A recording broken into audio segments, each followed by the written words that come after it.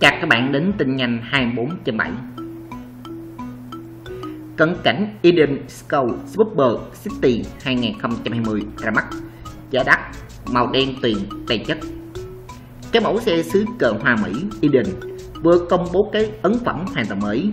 Eden Skull Super City 2020 với mức giá cơ điểm xích xòa 9.000 USD Cụ thể, sản xuất xe máy Eden hoàn toàn mới đã công bố cái chiến phẩm Indian Skull Bubber City 2020 ra mắt tại trường Mỹ. Một phiên bản là dành cho cái phái thư sinh của Eden Skull. Cái mẫu xe này có mức giá khởi điểm là 9.000 USD và có thể tăng lên theo tùy cái lựa chọn phụ kiện của người mua. Với một thiết kế cấu hình yên đơn, cái Skull Bubber City nhẹ hơn Skull City tới 6 kg tổng trọng lượng là 249 kg. Cung cấp sức mạnh cho xe là một cái bộ động cơ Vitin, dung tích là 999 cc. Công suất đa 78 lực cùng với mô men sát đại 88 cm.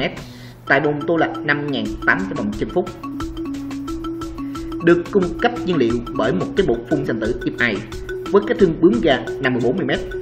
Scout Bubber City có thể truyền sức mạnh qua cái hộp số 5 cấp và dây đai Phanh xe chế bộ phận phanh đĩa đơn 298mm với hai cái điểm kẹp piston.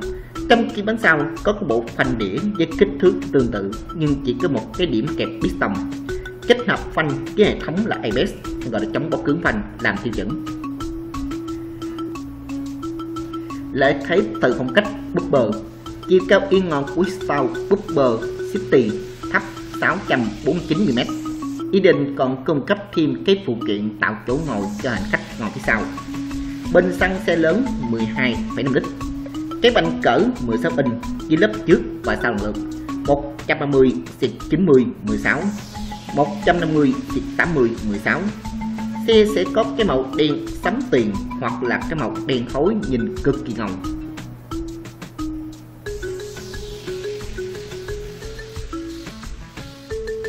Cảm ơn các bạn đã dõi clip này. Từ tiếp nhớ like, subscribe.